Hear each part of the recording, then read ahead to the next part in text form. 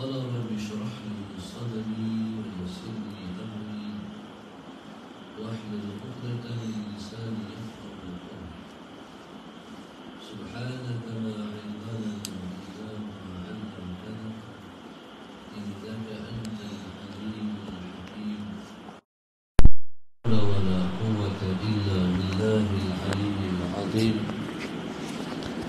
اللهم صل وسلم وبارك على سيدنا محمد.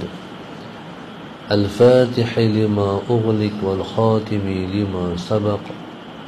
ناصر الحق بالحق. والهادي إلى صراطك المستقيم. صلى الله عليه وعلى آله وصحبه حق قدره ومقداره العظيم. أعوذ بالله من الشيطان الرجيم. بسم الله الرحمن الرحيم. بسم الله رب العظيم والرسول الكريم والملائكة المقربين. الصلاة والسلام عليك يا سيدي يا رسول الله. خذ بيدي قلت حيلتي أدركني. لا إله إلا الله وحده لا شريك له. له الملك وله الحمد وهو على كل شيء قدير. أعوذ بالله من الشيطان الرجيم. بسم الله الرحمن الرحيم. قال المؤلف رحمه الله تعالى ونفعنا بعلومه وبركته. آمين. اللهم صل على سيدنا محمد. قال المؤلف رحمه الله تعالى وما يبين أن يظهر لك توحيدك وما يبين أن يظهر لك توحيدك إلا إذا خرجت أي فنيت أنت عنك. وعن سائر الأغيار بأن تراها كلها من الله والله خلقكم وما تعملون. قال المؤلف رحمه الله تعالى وما يبين اللهم صل على سيدنا محمد dan tidak Allahumma salli ala sayyidina Muhammad dan tidak nyata ai ai ini litafsir nak menerangkan nak mentafsirkan nak mengurai ai yazharu laka tidak nyata iaitu tidak zahir bagi engkau. Tauhiduka tidak zahir bagi engkau tauhid engkau illa melainkan idza kharajta apabila telah keluarlah engkau telah keluar mana? Ai fanaita anta. Yaitu fana lah engkau. Angka daripada engkau. Wa an sa'iril aghyari dan daripada sekalian aghyar Allahumma salli ala sayyidina Muhammad. Berkata Musan rahimahullahu taala wa ma yabinu dan tidak nyata. Tidak nyata ai yazharu nyata tidak tidak nyata mana tidak zahir. Tidak zahir maknanya tidak timbul tidak timbul tauhid engkau. Tauhid mana tu? Tauhid yang bangsa fitrah tu. Tauhid yang bangsa fitri. Yang duduk dalam diri setiap orang tu. Sebab kullu mauludin yuladu ala fitrah sebab setiap yang dilahirkan tu dilahirkan dalam keadaan fitrah. Secara fitrah setiap orang mengaku Allah itu sebagai Tuhan. Maknanya dalam diri seseorang sudah ada tauhid tu. Cumanya bagi setengah orang timbul bagi setengah orang tidak kalau nak bagi tauhid itu timbul caranya ialah dengan kita keluar daripada kita.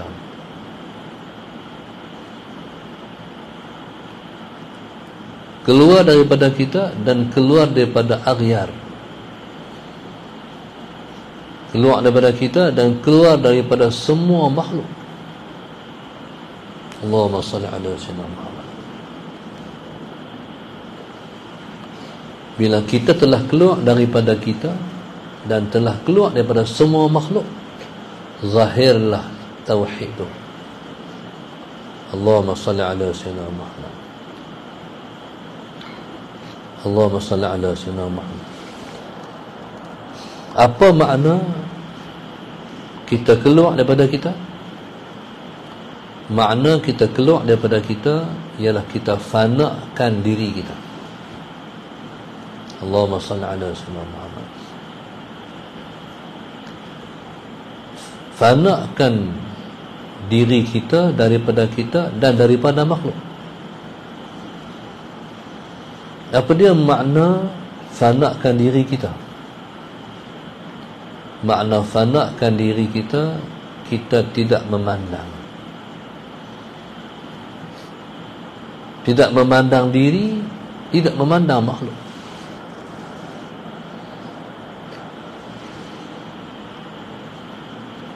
ataupun kita kata tidak memandang diri kita wujud. Tidak memandang makhluk ini wujud. Allahumma salli ala sayyidina Muhammad. Apa dia makna tidak memandang diri wujud tidak memandang makhluk ini wujud? Allahumma salli ala sayyidina Muhammad Allahumma salli ala sayyidina Muhammad sebab kita memandang hanya kepada satu wujud yaitu wujud Allah.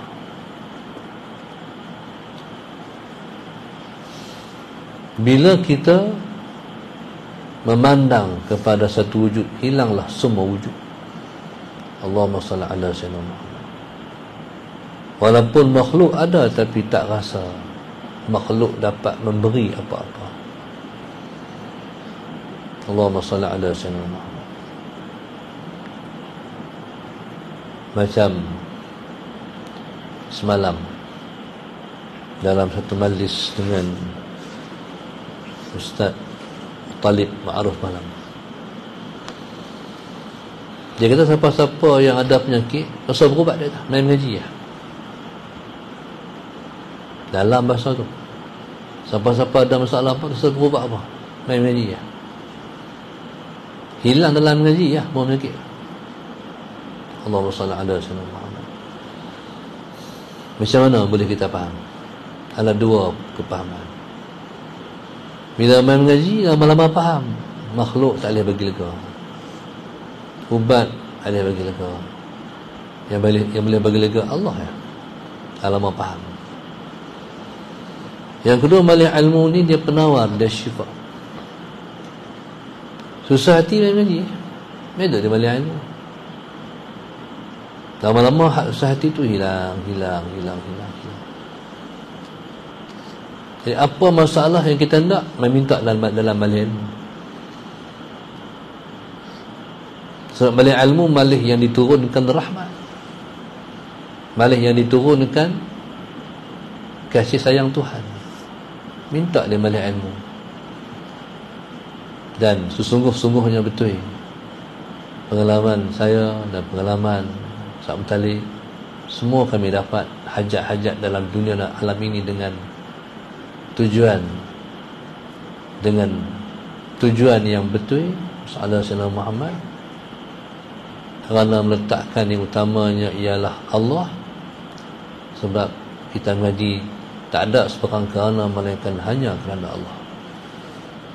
Sallallahu alaihi wasallam bila kita duduk di balik ilmu semua yang kita dapat ialah dengan sebab berkat malis ilmu. Lebih-lebih lagi orang yang bukan sahabat main mengaji gurunya ialah keutamaan dia. Bila guru dia keutamaan dia mainlah apa pun hak penting tak penting nak lain. Guru dia penting sekali. Bila kepentingan guru tu utama maka semua urusan dia kecil ya mengaji yang paling penting sekali. Pegang betul-betul tu. Hmm. Allahumma salli ala sayyidina Muhammad. Orang duk penting hak lain sebab dia tak penting ustaz dia dia tak penting guru dia bila tak penting guru dia jadi hidupnya macam tu lah tapi kalau ustaz depan tok guru utama semua dia dah dapat. Lepas tu bila mana kita Kita tengok tu ngaji dulu Kata, kata Syanuruddin Kita kalau kita dapat apa-apa pun Kebaikan Apalah Kita kena kata berkat guru saya. Allahumma salli ala sayyidina Muhammad. Tu di pengalaman dia. Ini pengalaman Ini pengalaman Ustaz hmm. Jadi orang yang Yang hidup Tak sempurna tu sebab tak ngaji. Tak ada malih ilmu Tak ada guru utama. Dunia ya. Jadi sesungguhnya kita dapat sesuatu itu dengan majlis ilmu. Ada ilmu ni jaminan dapat syurga. Kalau syurga pun dapat di akhirat syurga dunia ikut sekali. Mana dunia ni dia akan ikut akhirat. Tapi kalau kita letak akhirat belakang kita letak depan dunia jadi apa pun kita tak dapat dunia ni akhirat pun kita tak akan dapat apa-apa. Allah subhanahu wa ta'ala alam. Allahumma salli ala sayyidina Muhammad.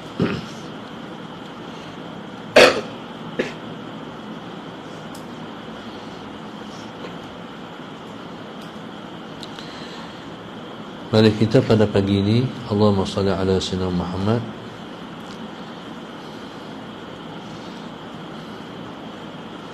Ditaja oleh